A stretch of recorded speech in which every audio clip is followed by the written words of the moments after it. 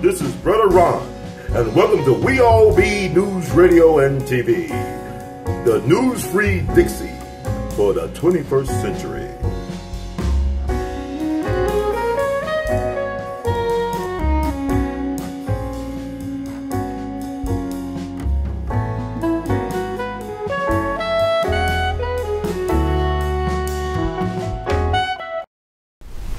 We all gonna have on the one only Mr. Brother Steven Simmons. He got something he need to say about his mistreatment over the years as relates to the city of Memphis government. How you doing today, sir? All right. So tell us, like, why are we here today? Like, what, what are we talking about here? You had an incident that happened to you? Well, I was a mechanic for the city of Memphis. I got run over by a truck at work in the shop, which was no fault whatsoever of mine. I got pinned between a garbage truck, a steel table, a half moon hand while staying in a concrete wall. Mm. I spent two and a half months in the hospital. It crushed my pelvis and severed the main artery running through the pelvis. So I was literally bleeding to death. And the city gave me the type of treatment that I wouldn't give to my dog mm. if he got hit by a car. But I was forced retired and stuff like that. But what happened was this, you know, after when the truck hit me, there was another mechanic standing right next to me. He told me I pushed him out the way. And I was asked by its fleet service administrator, Eric Ho- Hollow, Eric Hunter, why would you try to save somebody else instead of save yourself? And I felt like that was really a, a really awful question to ask somebody because this was a split second decision you had to make to make them to, to do something because both our lives were in serious danger. We we were in jeopardy of losing our lives right there. So I was um, I spent two and a half months in the hospital. I wind up losing five toes off my right foot because I wind up getting a staph infection while in the hospital called MRSA, which is a flush-eating staph infection. And I lost other body parts, which is private, but I lost other body parts. I have nerve damage and muscle damage in my right leg and foot that prevents me from, from it, it makes my right leg and foot stay tight all the time which the city even sent me to a physical therapist for that. Mm-hmm. And the physical therapist was sitting there twisting and yanking and pulling on that ankle. And I had to ask the lady, what did they tell you happened to my ankle reason they sent me here? They said, well, your ankle got hurt when you got ran over at work in the shop. I'm like, no, my ankle didn't get hurt. So there was a nerve running through my pelvis that got pinched when they pulled my pelvis back in place that causes that right leg and foot to stay tight. It tell them, I guess, tell the muscle to stay tight all the time. So I went through the physical therapy thing, even though, like I told her, I wasn't gonna do no good because if you don't fix the nerve, you you ain't doing nothing. Mm-hmm. Which I told the city, I told the hospital that something had happened when I first got hurt. When when I got hurt and the ambulance came in, they put a belt around my waist to pull my pelvis back in place. My right leg and foot went numb. That was the first time it happened. So I told them about it. But then when they rushed me to the hospital, they did have to do an emergency artery graft to repair that artery that was severed. Um, then 18 days later, they went in, what first they had to cure up the staph infection that I had in my pelvis um, before they could seal me up or before they could repair the pelvis. And when they repaired the pelvis and put the pins and plates in there, this right leg and foot went numb again. And I told them that was the second time it happened. So I believe there was a nerve or something being pinched in my pelvis. Nobody paid no attention. Nobody was listening. So a year later, they sent me to a neurologist. The neurologist said that in order for him to try to figure out what's causing this problem, he had to go in there. He says a cluster of artery, veins, and nerves that you had to go in there and separate. And he said because of how long it's been, if he went in there to do that, he felt it would do more damage than it would good. So he wasn't willing to do it. And this was a neurologist, a professional. But, you know, every time I tell somebody about something, it don't mean nothing because it's not affecting them. Mm-hmm. With them is the city. But as it went on, um, after I got out the hospital, the city gave me a promotion while I was off sick. Hmm. From a mechanic helper to a master mechanic. Then came back and told me, well, we can't actually put you in a position until you actually released to go back to work. But when the doctor released me to go back to work, they turned and told me, no, we pay you stay at home. They did this for six months until they forced retired me. And get put me on inline and duty pension, cut my salary down less than 60%, and tell me they gave me something. I'm like, how did you give me something? All I did was lost in this thing. I've lost my health and strength. I lost my livelihood. I lost my ability to run. If somebody tried to rob me or got at me, I couldn't run from you. Mm. If somebody was harming my family, I couldn't chase you. I couldn't. I couldn't do nothing. If I turned around too fast, I'd fall down. But you know, none of this is nothing to the city. Then the city only cover you on OJI for three years. After them three years, they write you off. No medical, no medication. You can't go to the doctors. Nothing. But this was a work related accident, though. This was work. Yes. No, and you didn't get no workers' comp or anything like any.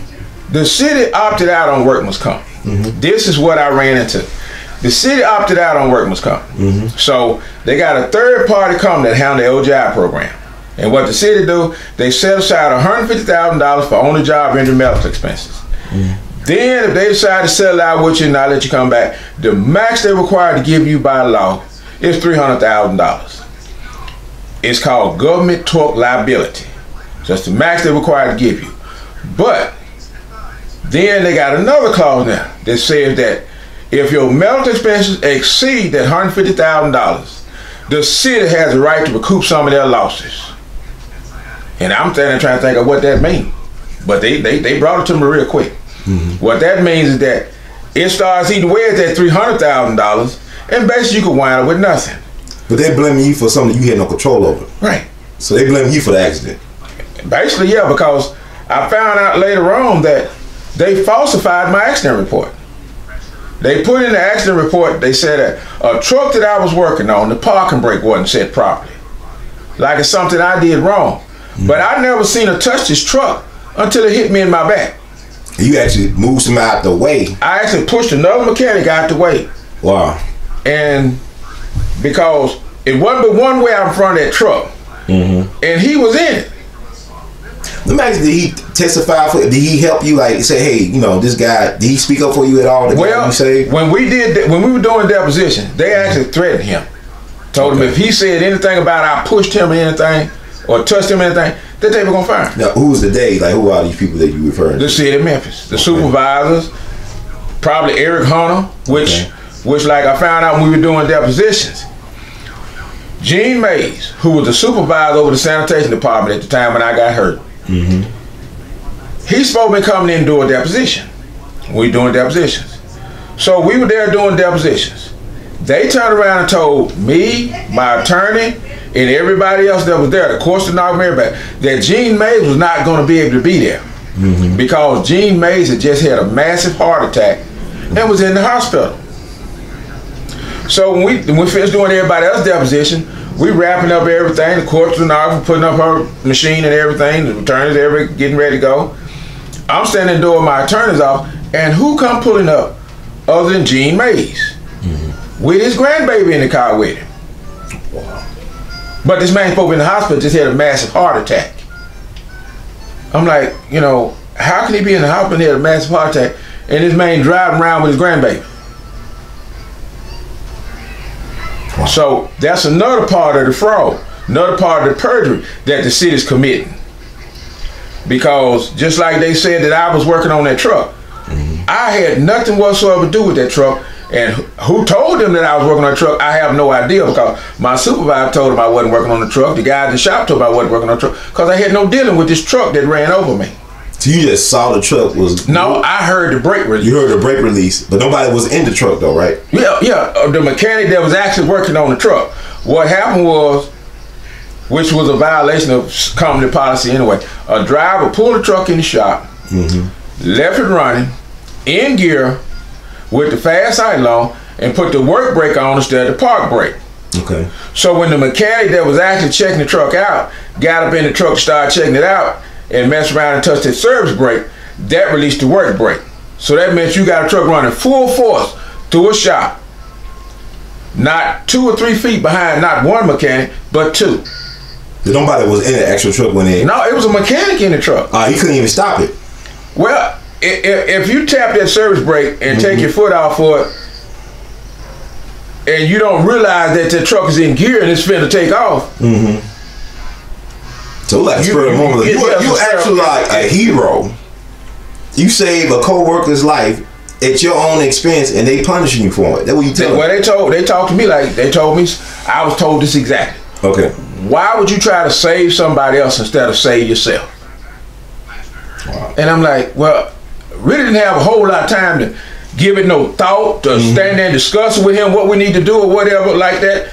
This was, I mean, you got a truck running full force to a shop, not rolling, not just inching, but you got a truck running full force to a shop under full power. You are the exception. I don't think a lot of people would have get it from. So you just came out to you trying to no, what it was, myself and the other mechanic, we was mm-hmm. putting a water pump gasket on a water pump in a on a, in a vise on the table Okay. when they pulled the truck in behind us to check this truck out. Which is what we it, it happens all the time. We do it all the time. So you hear somebody pull the truck in behind, you really don't pay the whole lot of attention. You keep on doing what you're doing. Cause you really don't think at the time that your life is in danger. Mm-hmm. So, you know, you keep on doing what you're doing, and next thing you know, like I said, I heard the brake release, and I knew we were in trouble then. Mm. And it, like I said, wasn't no time to think about it, debate on it, or discuss nothing. It was time to make a move. When I heard that break release, I knew it was time to make a move. Mm-hmm. And it wasn't but one way to make a move, and that was where he was. Mm-hmm. So, you know, I'm like, I've been explaining this for the past going on seven years now. Mm-hmm. That I had nothing whatsoever to do with that truck.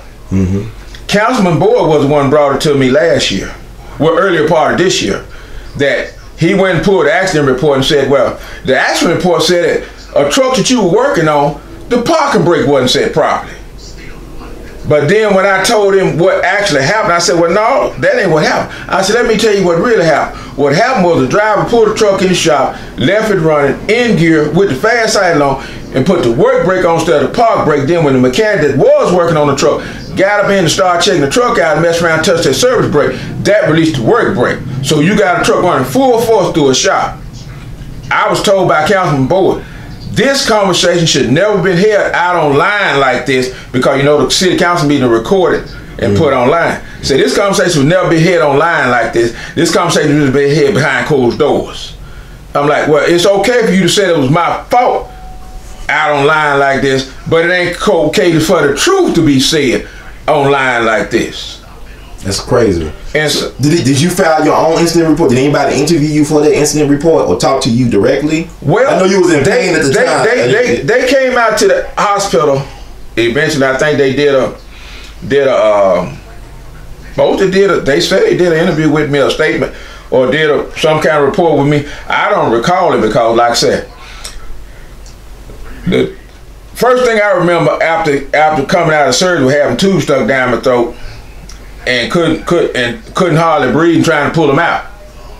That's interesting. So, why would exactly, they exactly when in exactly when they did an interview with me, I have no idea. That would have been the best But my wife was there with me the whole time, so I don't know exactly when the interview was done. Did she But verify they did? she don't remember. it. But She was there the whole but time. thing is, Okay. yeah. But the thing is, when they asked my supervisor about it, David had the nerve to ask my supervisor, did they take him for a drug test? And asked me several times. He finally turned around to the lady and said, ma'am, I don't mean no harm, I don't mean no disrespect, but I don't think the ambulance stopped at the drug test station on the way to the hospital. This man just got crushed by a truck. But now, the guy that pulled the truck in the shop, they gave him promotion. Really? So man, And I ain't heard nobody say nothing about sending him for a drug test. Let me ask you this then. Like, what was your relationship before this incident? What, what date was this? Did this happen? April the 2nd, 2013. So we now December twenty second, twenty nineteen, having this conversation. Yeah. So you've been doing several years trying to get your story out there. Uh, did you have? Were you known? You have a certain reputation at your workplace before this incident, like being a rebel rouser or being outspoken. I was wanna- a union steward. Okay, you okay. I was a union steward that represented the members. Mm-hmm. I worked with the members. I worked with the people. I worked. I was a, a rec operator when I first started to work with the city. Mm-hmm. When the city came up with this roadmap to discovery thing in 2010, 2011, and started outsourcing a bunch of different divisions, the wrecker service one division that was outsourced Mm-hmm. and they sent my whole unit home. Now, the memorandum of understanding state that all displaced full-time permanent employees are supposed to be placed in permanent, comparable positions, comparable to the salary that they were making. Mm-hmm. This didn't happen. We were all sent home. Some of us were sent out to the police and pound lot part-time temporary. They talked to one guy about working sanitation part-time temporary. But that wasn't what the contract stated. The contract stated we all supposed to be placed in full-time permanent positions comparable to the salary that we were making, but didn't happen. So I got sent over to the police and pound lot. Now I'm thinking I'm still gonna be making my same salary. Next thing I know, I get cut down to 30 hours. Mm-hmm. My salary get cut down to twelve dollars. I lose my benefits, everything. And I'm like, wait a minute. Why you union and stuff? Do you union try to get your benefit? What's the purpose of having a union? They don't protect your benefits. The union even stopped talking to me, and I was a union steward. Wow. They stopped talking to me. Only way I could talk to somebody and ask me, who was the union that I was on at the time, I had to pop up at the union hall just to talk to And somebody. you was an officer, and you know, so you had And I was, right, I was yeah. the chief steward right, right. at the wrecker service. So you been basically what they call blackballed. yeah, And it wasn't even. They're trying. Everybody's blaming you for this incident that cost you your health and your wage. yeah, So you had fought for this. yeah. So how do you deal with that? I mean, this is like happened back in 2013, say April 2nd, 2013. This is December 22nd, 2019. So how, how has life been for you since that time? Well, since that time, I've been harassed by the city. I've been threatened by the city. I've been discriminated against by the city. I've been retaliated by the city. I've had police department, city code enforcement, county code enforcement, health department, Channel 13 News. All these people have been sent here to my house for the past seven years. I pulled up one day and had eight police cars in my yard. And I'm like, I come around and ask them, uh, what's going on? Police all tell me, why you didn't come to the door when we knocked on the door? I said, man, I just put up saw y'all in my yard. What's going on? Man said, well, we got a report of somebody stealing cars in the neighborhood. I stopped him right there. I said, let me stop you right there. You mean to tell me I'm gonna steal somebody's car in this neighborhood and park it in my front yard? I said, man, they shooting up houses and burning them down right here on this street. Mm-hmm. On the next block. My house be the next house on the chopping block. I said, that's the best you can come up with? I said, I work for the same criminals you work for. I work for the city of Memphis. Since then, I've had code enforcement at my house. I've been in court so much for code enforcement, I should have had a job with. them. Wow. Code enforcement come here every time they tell me to do something. I did what they tell me to do. Then they come back and change it. Okay. City code enforcement side, they were gonna drop their case against me back here about a year or so ago. All right. They dropped their case, but they put county code enforcement on me. Hmm. When the county code enforcement first came out here, the man say he really he really didn't see no purpose of it because he said, well, the city already got you in court. So the only thing we could do is give you a citation and take you to court also. And he said, that's overkill. It don't make sense. Mm-hmm. When they already got you in court. So he said, after I told him what was going on, he said, well, the complaints you getting is not coming from no neighbors. It's not about your yard. It's not about the cars. So these complaints are coming from either the mayor's office or the city council. And I've been dealing with this. Matter of fact, I'm still going to court right now with county code enforcement. Do you have any proper legal representation? Do you have any lawyers that's helping you with this case? No, I can't get anybody to take the case. Really? I can't. No- matter no fact, lawyer I can't actually get nobody to real talk to me. No lawyer in Shelby County, no lawyer No, in Tennessee. once I tell them who I'm who I'm up against, they through talking to me. They don't handle this type of case, or it's a conflict of interest, or they, you know, even the ACLU, nobody, no organization. nobody.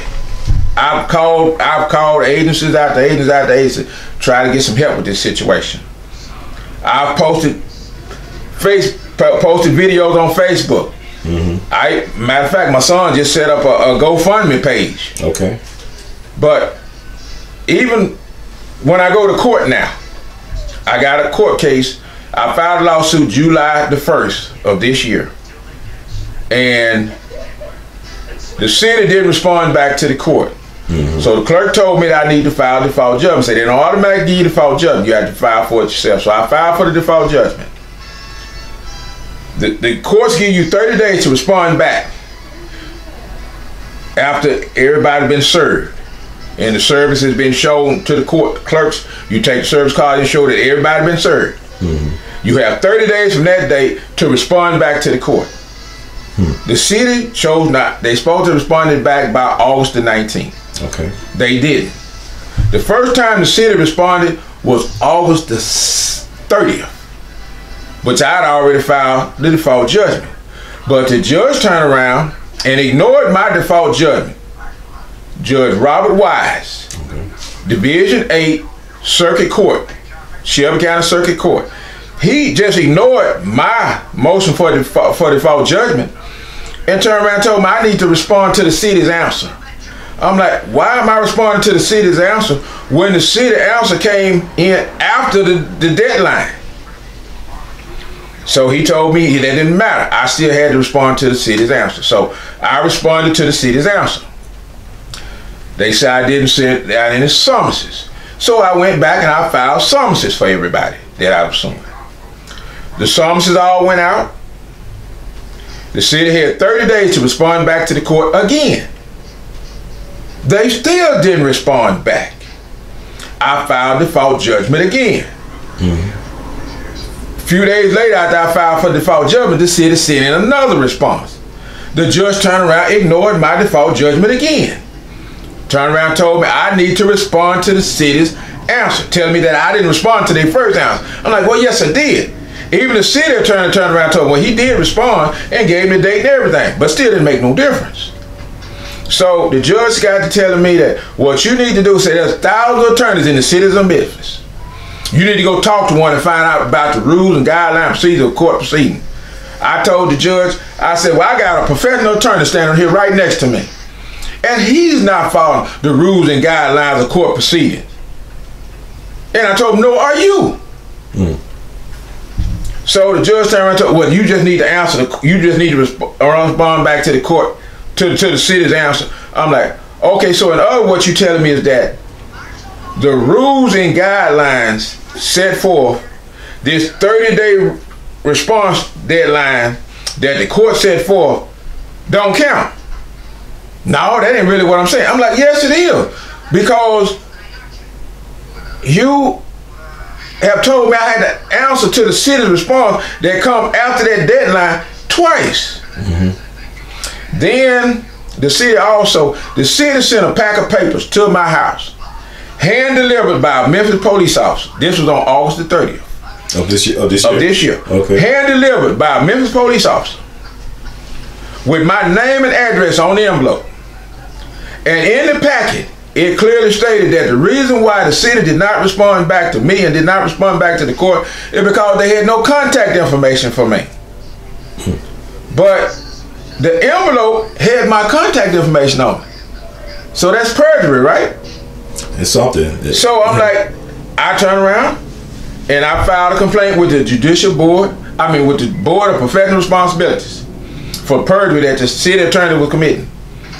They sent me a letter back, said they didn't see anything wrong with what the city attorney was doing. So I asked the lady, I said, now, if I have a pack of paper sent to my house, hand delivered by a Memphis police officer, mm-hmm. with my name and envelope, name and address on the envelope, isn't that contact information? She said, not really. I'm like, okay, well, let me rephrase that. I said, if I send a pack of papers to your house mm-hmm.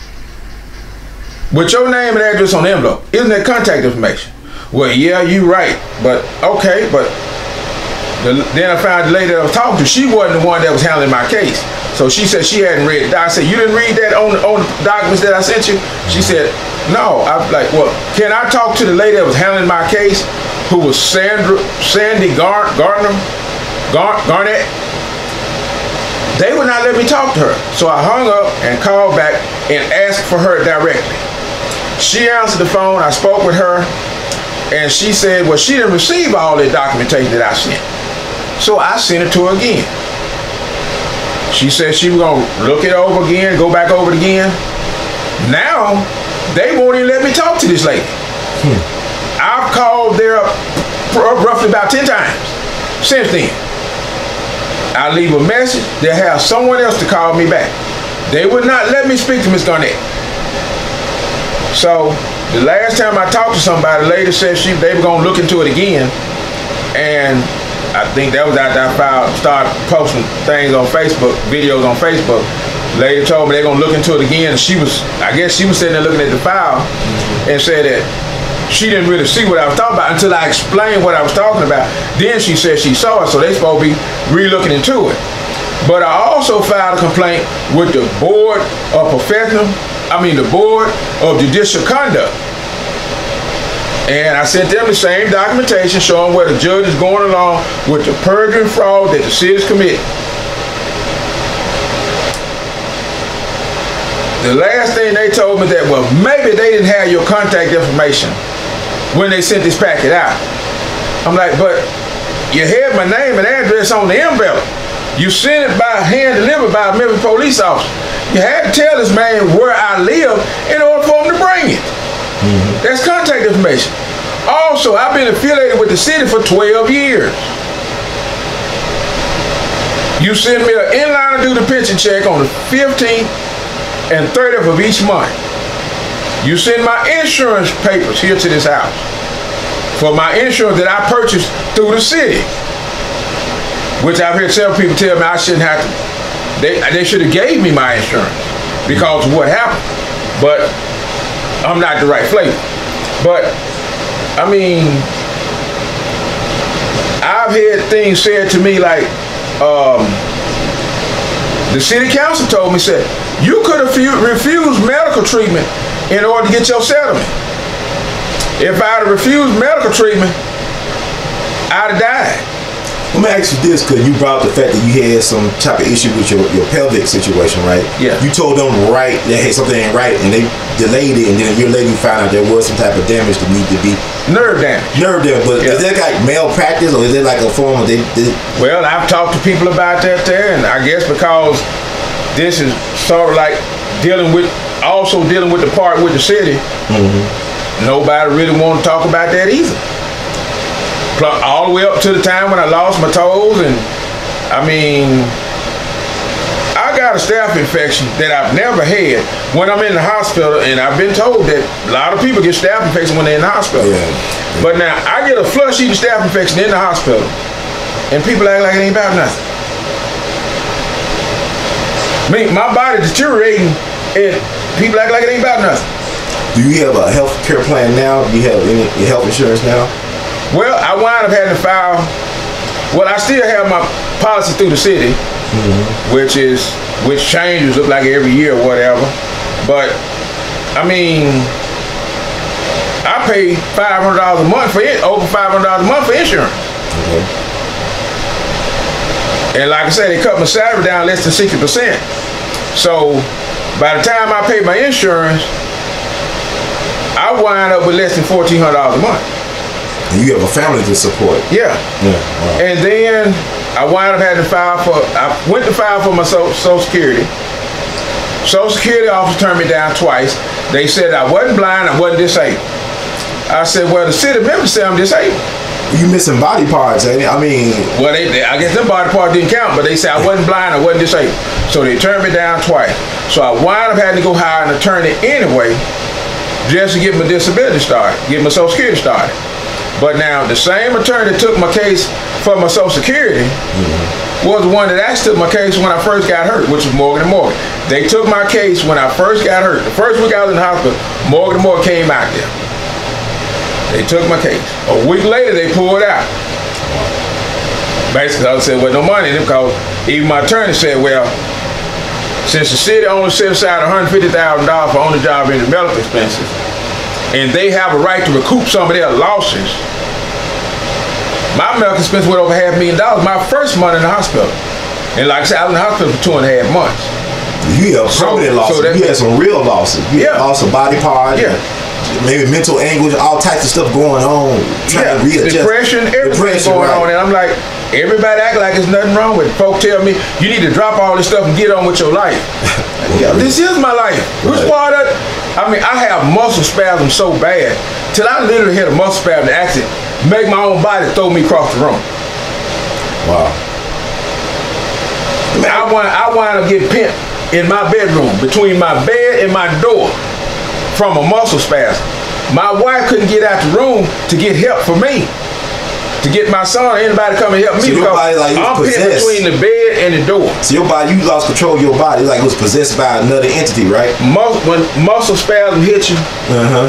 it's like your body just it just I mean you ain't you you ain't you ain't you ain't in control of nothing no more. Right. Cause when the muscle spasm hit you, you there until they decide to turn you loose. Do they happen often? The muscle spasm. They, I had a muscle spasm down city council meeting one day. Wow. When they were doing the interview for the when they were doing the uh, negotiation for the fire department, I had a muscle spasm right down in, in, at at to at at city, at city council meeting. They had the fire chief to come check on me. One fire chief came over and he put his hand on my back. He said, "Man, you hot." He said, "You just come in from outside." I said, "No, I've been sitting with it for the past three hours." I said, "But when the muscle spasm hits you, that pain runs your body temperature up. You have sweat dropping off you like you running down the street or something mm-hmm. in the sun. Mm. And I mean, when them when them muscle spasms start hitting, it locks you up. You ain't going nowhere. You ain't doing nothing. You can't really drive, really, right? You don't supposed to drive, or you gotta do what you gotta do, or what? Well, I do what I got to do, but Is that scary though to know that you can lose control like that at any moment? I've had to pull over and get out the car Mm-hmm. and wait till spasm turn me loose. But they say you when they first when they first started happening, I be here and instances well, I had to pull over and call my wife to come get me. wow. But now I, I, I get I, I pull over and I, I might have to stand there about 5, 10, 15 minutes before it finally to turn me loose. So basically, you're a prisoner of your body. That's what you telling me. You're a Yeah, prisoner. of your- basically, yeah. Because like I said, when he muscle spasms hit you, you there to stay. You ain't going nowhere. You ain't doing nothing. You ain't holding no conversation. You I mean, you stand there and your body just takes over and do what it want to. So I'm gonna rewind it down. I mean, this is crazy. When you tell them that this actually happened, it has happened to you. Uh, I know we made the Bloomberg healthcare unveil earlier this past week on Thursday, and they didn't give us a chance to ask any questions of the, the presidential candidate, who's a multi-billionaire, he's worth 58 billion dollars. But what would you want to ask him? Uh, in particular, anything in particular you want to ask him, or? Well, actually, I wanted to ask him about what was his view on government corruption, local government corruption. I mean, they got Donald Trump impeached, but I'm like, what about local government, the city, city of Memphis government, that people get hurt on this job, and they just toss you to the trash just toss you to the side like it ain't about nothing. Hmm. After three years, you you wrote off. You you don't nothing count for nothing. I mean, I got medication. The day that they dropped me from the OJI program, the first phone call I got mm-hmm. was from Walgreens. They said we got a prescription here.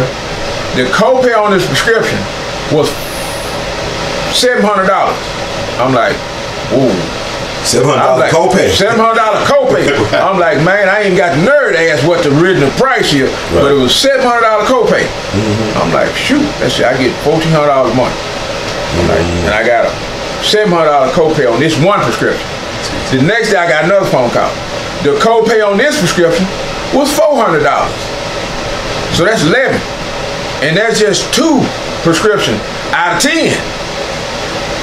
Mm-hmm. So what what am I supposed to live off of if I buy all this medication that the city is no longer paying for? Mm-hmm. Then every doctor that I see is a specialist.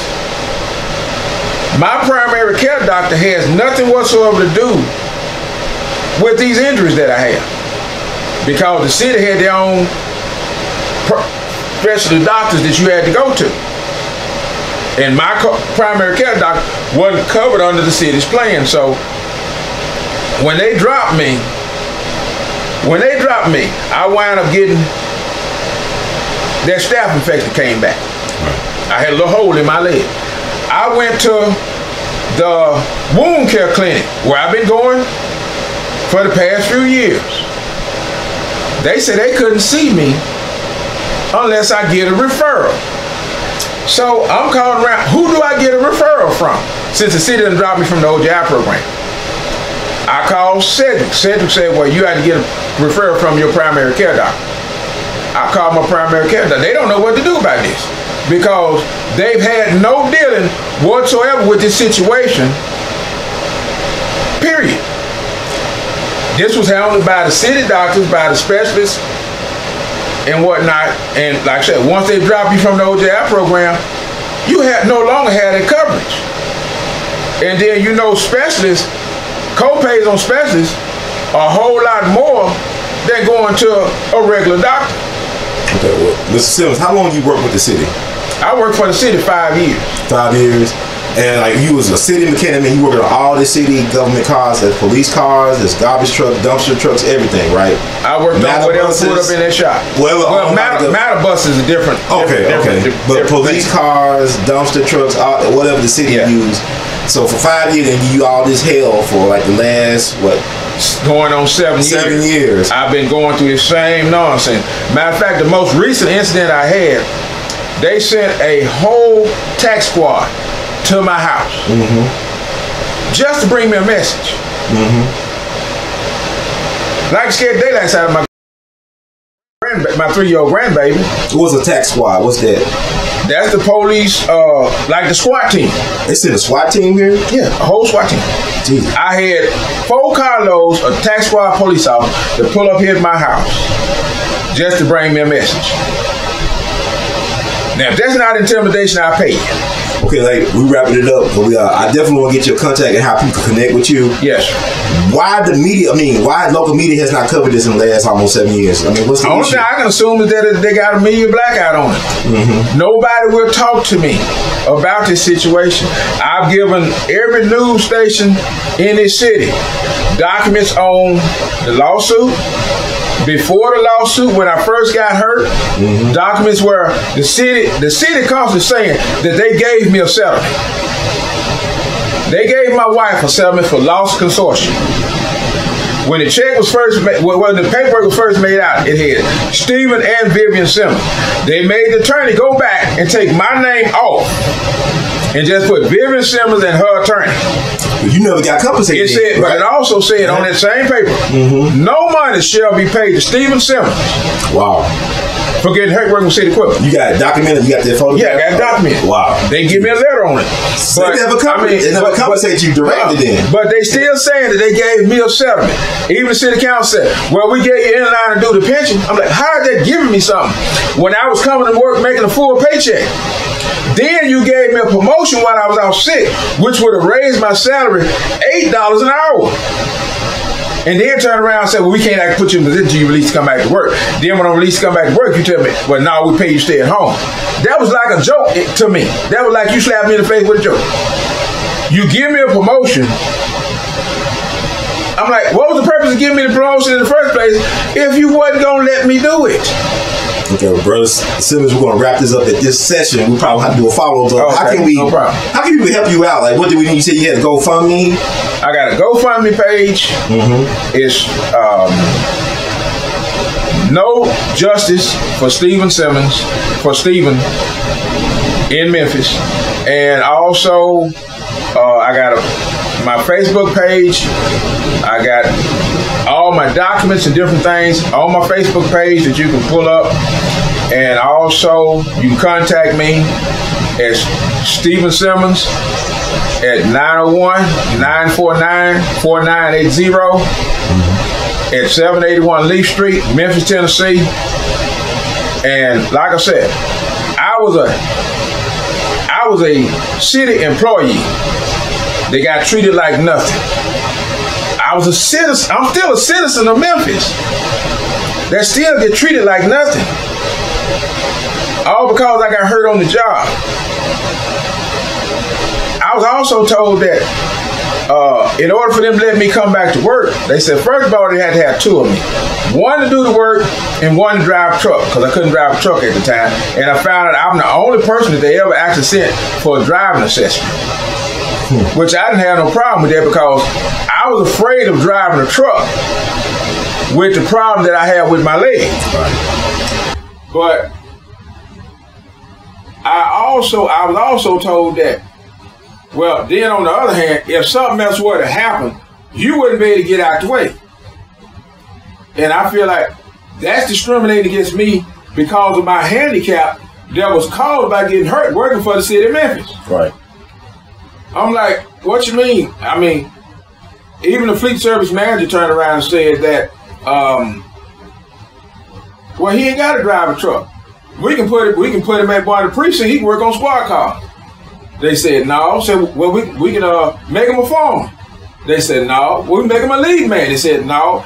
Everything this man said, they said we can put him in park. He said no. Everything he said, they said no to. All they wanted me was gone. Well, brother Simmons, we want to make sure that this story get out there and go viral, it. and we appreciate you, man. Yes, I'm, sir. glad for you to hang in there. You are somebody. Don't let them ever take that away from you. You are a man, because Yes, you are. sir. You know what I'm Yes, saying? You sir. standing on your on your feet. I never knew, but from looking at you, the way you get around so well, you had all that going on with you, man. But I, I bless. I thank God for keeping your mind safe, keeping your family safe, keeping you safe. Uh, wish you amplify blessings and gratefulness in the year 2020 and beyond, man. We're gonna get this done. Thank, you so much. Appreciate Love you, Mandy. Keep Yes, on sir. producing and Thank pushing. you. Appreciate